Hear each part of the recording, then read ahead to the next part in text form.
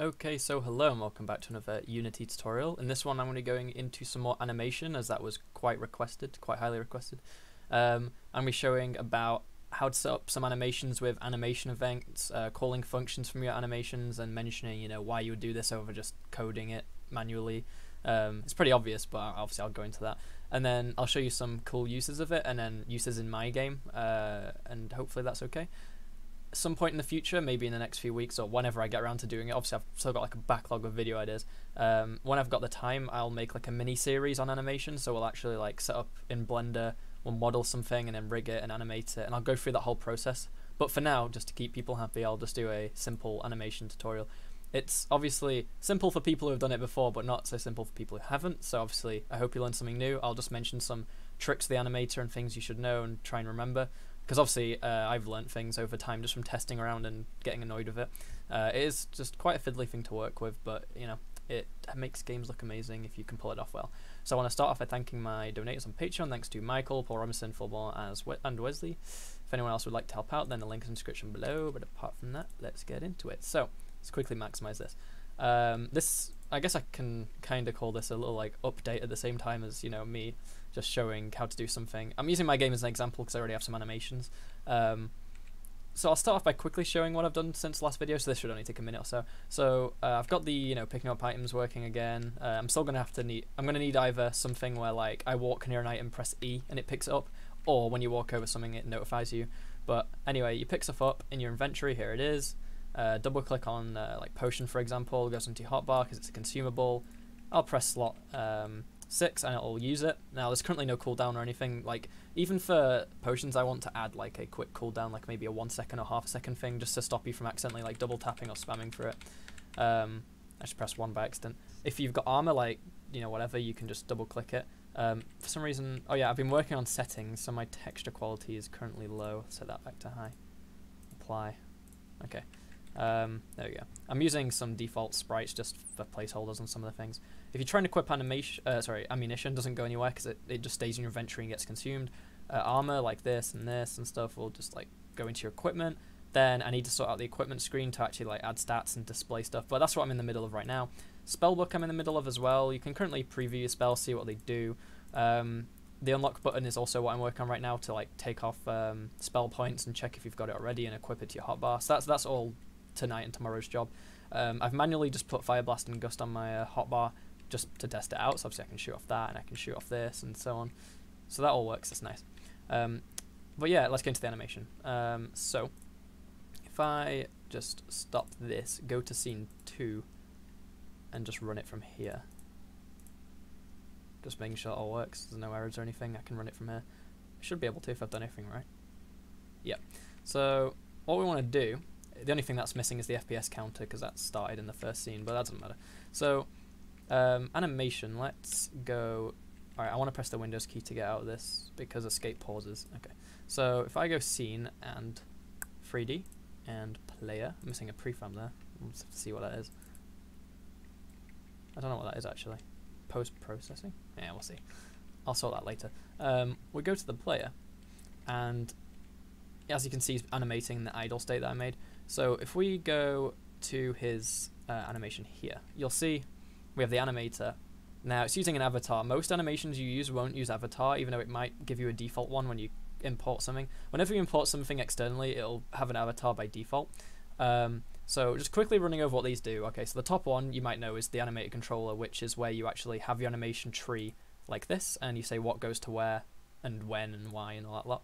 Uh, avatar is to do with bone structure, as far as I'm aware. I just know it exists, and I think I know what it does. It's also to do with avatar masking, like I showed in the last video. So, like, you can make it so you can have two animations running at once on like different parts of your body. If, for example, you want your running animation to continue whilst your um, arm is throwing something, for example, you'd have to make a separate animation. You just have two running at once on different parts of the body. Uh, root motion is for a different kind of animation. So what we have here, when the player is animated, his collider and object stay in the same place, but the body moves. Root motion is where the player moving is actually physically the player moving. So what you might have is you might have like a jump attack that jumps up in the air and dashes forwards, and that is like the actual animation. So if you were to do that, uh, the benefits to root motion is it's easier to do things like that. For example, like dashing dashes and stuff. Um, I don't want to say it's easier. You can still do it just as easy. Um, but there are like complex movements that you might want to have in root motion. Whereas non-root motion gives you the ability to tweak movement completely with code. So by adding forces to push you in a direction or like just moving you as sorry, uh, setting direction stuff. Basically, doing it in code like this gives you more control. Uh, doing it like that is probably easier to do certain things. But most people use non-root motion update mode. Now this is something important I want people to listen for because I only learned this recently. So um, basically, the three options are normal, animate physics, and unscale time. Now, if you go into documentation, you'll actually be able to see the oh, it's on my screen. You'll be able to see what they all mean. Um, so the one that I really care about is it these three here? No, it's here. So um, normal, obviously the default. Yeah, whatever. Animate physics is used with physics update, physic, a fixed update. And fixed update is called every physics frame rather than every frame, which means that, um, as you see here, you should use this if you're animating motion of objects with physical interactions. Now, unscaled time, you should use quite a bit, because what unscaled time means is that the things that you're animating in unscaled time, the animator keeps going when your game's paused is the main use I can find for it. Because when you're when you pause your game, you'll set your time scale to zero, right? If I bring this to the side, Alright. If I press uh, tab like this or escape, as you see, the animation pauses, right? oh, the animation pauses. So, and the, the reason because animations go off the timescale of the game. So your game's normally at timescale one, so everything animates just how you, you know you set it up to do. But the problem is, uh, when you're paused, you've generally set it to zero because you know you don't want anything to run in your game. You don't want enemies to keep attacking you when you're paused or anything. Um, so you can freeze animations, particle effects, they all run off that. Now the thing is, let's say you have UI animations, that's the main use. You can't have them on the normal because your game's timescale is zero. So they won't animate and you'll get problems and you might be confused as to why the animation's are not working. But you just need to make sure animators that you want to keep running when the game's paused or specifically when the timescale is zero, you want that to be on uh, unscaled time. So if I go to the player control and put unscaled time, it means that they're going to keep animating during the pause. Now obviously I don't want that because um, as you see, it just looks a bit odd. Everything's pausing the scene, the player's still there just bobbing around. But there are uses of it. Um, if you want to keep basically anything you want animated, regardless of the game's paused or not, you want to put on unscale time. I haven't actually used animate physics. Maybe, maybe I should use it on my player. I'm not really certain. If anyone knows for definite, say so. I haven't had any problems with normal, but I can imagine why that would help. But it's not going to be the biggest problem. And then culling is to do with rendering, but um, that's like uh, if you can't see it, should we render the animation stuff? But I'm not going to get into that. I think it's still on here. Um, whoops, that's just my recordings folder. Um, yeah, the animation is completely disabled when the renderers are not visible. I mean, to be honest, I don't see why you shouldn't have that. Um, cull update transforms, as far as I'm aware, I've closed, haven't I? No, I haven't. Um, retarget, IK and red transform disable when render's not visible. Always animate. Yeah, so basically don't have always animate. I don't see a reason why you would have always animate, to be honest. It's just not use, you, uh, not worth it. Cull transforms. Basically, if we can see them being updated, then we'll render them. Cull means to render. So culling mode is like rendering mode. Um, then I got my other scripts, whatever. And my scripts uh, speak to the parameters in here. So as you see, I'm going to press resume. I'm going to move around. And when I'm moving, we move from 0 to 5, right? Now, I could just set that value in the speed percentage, if you look up here. I could set that straight to 0.5 when I start moving. The problem was the blend tree wouldn't look great, which is obviously, I've been over it before, but I'll go over it again quickly. The blend tree is what makes it smoothly go from still to walking to running. So I see when I press to move, it quickly goes to 5, uh, 0.5, but not completely. And then if I press shift, it does the same thing up to 1. If I stop, we go all the way back down to 0. Because what I do is when I press, like, move, it sets the target to 0.5, and it lerps towards it. And obviously, lerp means to like linearly linearly interpolate. So it will get closer um, over time. The further you are away, the faster it will go to it. It's basically that you can lerp transforms, you can lerp numbers like floats, integers. Well, you can't lerp. We probably can lerp integers actually, but you generally use it for floats and vectors. I find. Um, obviously, jump. And then is grounded will set me back. That's probably not the best way to handle jumping, but it's the way I've handled it, and it works. I've not had a problem with it. Actually, no, I've had one problem, sorry, which I might want to look at now just to show you uh, what it is. So if I uh, run or walk, if I do anything, jump, right, it works, yeah? If I jump and pause, right, and stop, I'll fall, to be expected. But if I am running, jump, pause and I hold my move key down, I'm holding down D right now. If I resume, I'll actually just be in the air. Um, not quite sure what this is. My speed percentage is zero, so my character's not moving. Uh, I'm just not falling. Now the falling is uh, the Y. Now if, if I let go, I just fall. I'll have to look into that. It's clearly something to do with the time scale being set to zero when I'm paused. But um, let's look at the blend tree quickly again. I've looked at it before. Um, I'll bring it back so you can see it. So the blend tree, this is where that number is, you know, the 0 to 0.5 to full. And all it does is we've got three animations here. So this one is from uh, 0 to 0.5 and then 0.5 to 1. So when I'm 0, it's this one, and as I get closer to 0.5, we do more of the walk and then more of the run. Because uh, you can run two animations at once, and it basically just averages out their keyframes depending on, well, it doesn't average it out, it, just depends on how much uh, you want, depends on the weight. Because weight means, like, you know, how much you do of it. So, like, for example, if you've got animation on an arm, and you have weight around the shoulder, then the shoulder will slightly move when the arm moves. If you have no weight on the shoulder, then it won't move whatsoever. And if you have then it would move with the arm, but obviously you wouldn't have that. So that's why weight painting uh, is a thing we'll get into when we do animation and rigging. It's a tedious process if you're doing like a proper skinned person with like joints. Like, because this character that I got off, um, well, I didn't get off. I, I watched his tutorials. I didn't just like copy the final thing because I wanted to learn as I'm going along. Because animation, obviously, like my main thing is programming and I'm okay at like the UI design stuff and like knowing how it all works but animation is probably my weakest point uh, so I need to learn and this is how because I'm obviously like developing this on my own. So um, yeah I need to start learning and his tutorials are pretty good Sebastian Lague um, but yeah his character has like the arm in a joint rather than the arm connected to the shoulder so it's easier to do the weight painting for that to be honest. It's very quick compared to normal. Um, but yeah that all works. Now animation events. So don't have any on my player, don't think, uh, but I'll give you one use. So um, basically, if you look at the animation down here, we can't change this. It's read only because it's actually reading it from our blend file because I animated it inside Blender. It doesn't let you tweak the animation in here. Um, I'm sure you could probably copy it and then tweak the keyframes, but I wouldn't unless you were doing something specifically for it. But if you're gonna do some animation stuff, do it in the actual software you animated it in originally. But one thing you can do is we can go to the actual animator. So if I remember my way around, we've got um, models. No, sorry, we've got a player folder. Player. Now we have player sword, player on arms. Let, let's say we go to player sword and go animation. and you see we've got, this is the sword idle, which is what we're currently on.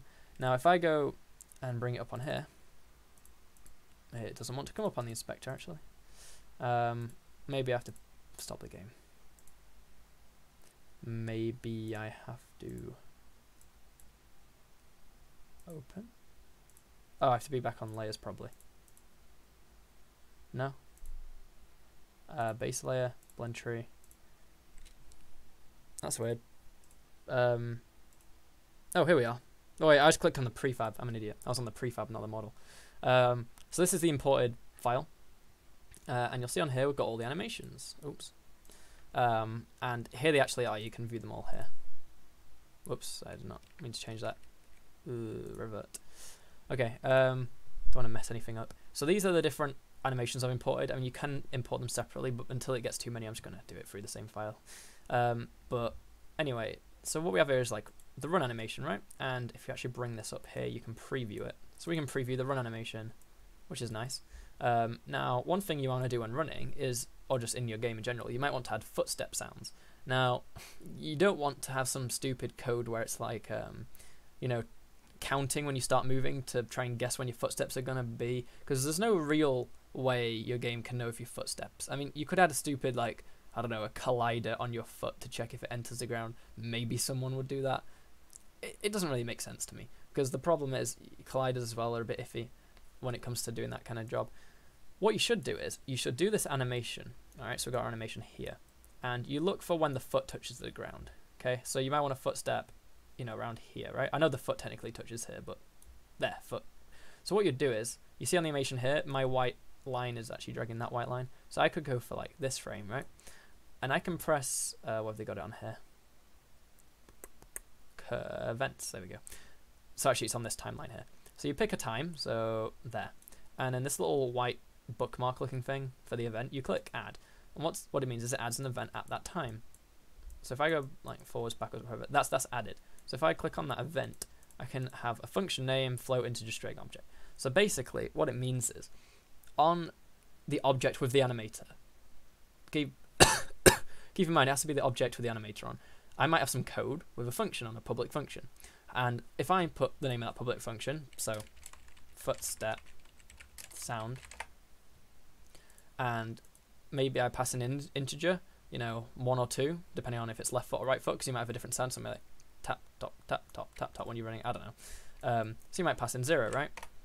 Um, for the left foot. And then you don't need to pass anything else in, okay? And then we go forwards. Um, to the right foot. Um, so wait, that's the left foot going down. There's the right foot going down, right? So on this one, I can be like, new animation event, um, foot, step, sound, uh, integer one, right? Integer zero, integer one. And then obviously that keeps going forwards, right to the end. When it starts off and does no one, so it's like tap, tap, tap, tap, tap. And the point is, what I, what I could do now is in my player thing, I could have a um, function called footstep sound. Okay, so I'm just going to quickly do this. Um, so if I apply that, so I've called it footstep sound like that. Just got to remember. So if I go back to the player and go to, I don't know, just anything on him, player controller. Just going to go right to the bottom. I'm going to add a function, public uh, integer footstep sound takes in an integer um, foot index, I don't know, whatever you want. And then you can just say, you know, audio clip, blah, blah, blah, whatever. But for this, I'll just do debug.log foot index.